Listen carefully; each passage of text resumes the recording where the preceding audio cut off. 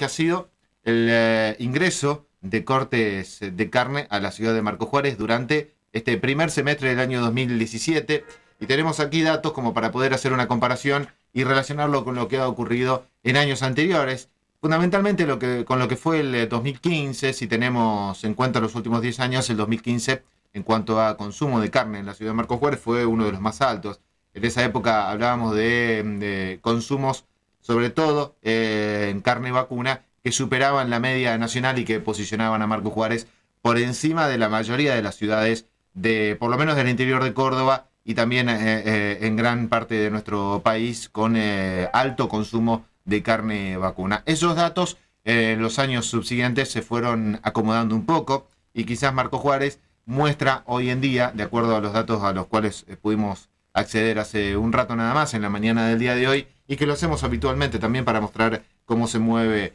este, esta actividad aquí en la ciudad de Marcos Juárez, muestran, decía, un descenso en relación a, esos años. Pero el 2016, que también fue un año en donde dejó números y cifras que estuvieron por debajo de los años eh, precedentes, eh,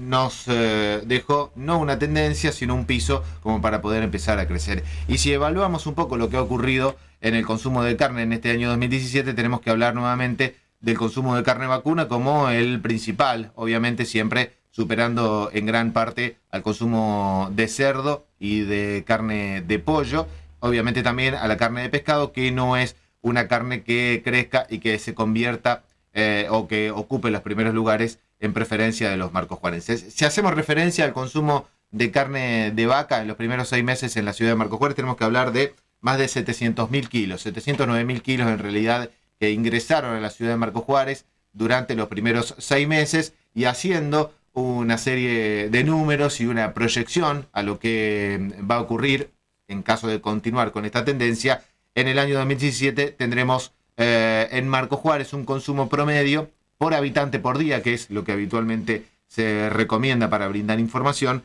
de 51 kilos 100 gramos de carne de vacuna por, para el año 2017. Como bien lo marcamos, entonces la carne vacuna supera eh, ampliamente a otros cortes como el de cerdo o el de pollo que ya vamos a ir repasando. En cuanto a los primeros seis meses del año, tenemos que destacar que marzo, en cuanto a carne vacuna, fue el principal con más de 131 mil kilos que ingresaron a la ciudad de Marcos Juárez, pero marzo fue un mes eh, eh, atípico en este primer semestre en todos los cortes, porque vamos a ir repasando y vamos a ver que en la mayoría marzo aparece como el mes con mayor cantidad de ingresos. Si comparamos este dato que brindábamos recién de consumo de carne vacuna por habitante por día en el año 2017, perdón, por año en el año 2017 y lo comparamos con el 2015 como destacábamos antes que fue uno de los más eh, destacados en esta materia, tenemos que decir que hay una diferencia prácticamente de 10 kilogramos, es decir, el 2015 consumíamos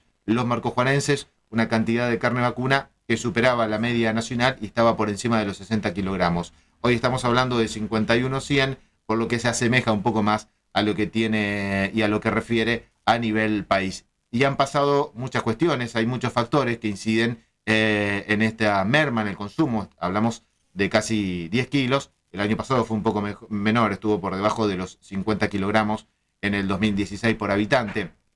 Tiene que ver fundamentalmente con el precio de la carne vacuna y con la elección, fundamentalmente eh, debido al precio y al, al, aumento que ha sufrido la carne vacuna en este último tiempo de otro tipo de carnes. Hemos tenido en relación al pollo una suba, también en relación al año 2016, los marcojuarenses eh, vamos a terminar el 2017 de acuerdo a esta tendencia con una cantidad de kilogramos que supera lo que consumimos el año pasado en cuanto a cajones de pollo que ingresaron a la ciudad de Marcos Juárez y en cuanto a kilogramos por habitante también. En caso de mantenerse esta tendencia estaremos en los 25 kilogramos, un poco más casi llegando a los 26 kilogramos en relación a la carne de pollo y esto tiene que ver fundamentalmente con el costo y con los precios la relación entre el kilogramo de pollo y el de carne vacuna, sobre todo los cortes más elegidos. Cuando uno realiza una consulta en las carnicerías puede observar que la mayoría de los cortes han subido de precios y fundamentalmente aquellos que eligen los marcos para llevar a la mesa. Si hablamos de carne de cerdo, también ha subido en relación al 2016 y también se ve una suba en relación al 2015, es decir, que la carne de cerdo empieza a ocupar cada vez un eh, mayor porcentaje dentro de la elección de cortes de carnes de los marcojuarenses. Estamos en los 20 eh, kilos aproximadamente que vamos a llegar a consumir en el año 2017 los uh, marcojuarenses. Si uno observa y compara con los cortes de carne vacuna, obviamente hay una diferencia notable, pero hay que tener en cuenta que estábamos en 16, en 15, allá por el año 2014, 2015, kilogramos por habitantes en el año. Así que hay un aumento fundamentalmente en carne de pollo y en carne de cerdo en relación a lo que ha ocurrido en años anteriores. Esto es más o menos un panorama de lo que hemos podido recabar como información de los primeros seis meses. Vamos a ir elaborando informes mientras vaya pasando también el tiempo y cuando lleguemos allá por diciembre o los primeros días de enero del año 2018, tener una idea aproximada de cuáles fueron los números finales. Pero marcando el primer semestre, teniendo en cuenta esta tendencia que estamos observando, eh, Marco Juárez ha tomado nuevamente un impulso con un mayor consumo de carne, no igualando a años anteriores, pero ha comenzado a mejorar las, eh, la demanda fundamentalmente de carne de cerdo y de pollo, como lo destacábamos, y una vez más también comienza a remontar los números y las cifras de lo que refiere a carne vacuna. Y como decíamos, el último dato, marzo ha sido, en cuanto a ingresos, el que mayor ha tenido en carne de pescado, en carne de cerdo y en carne de pollo, así como también en carne vacuna. Marzo, sin lugar a dudas, es el mes en donde comienza a retomarse la actividad normal y uno lo ve reflejado muchas veces en estos números que suele arrojar la economía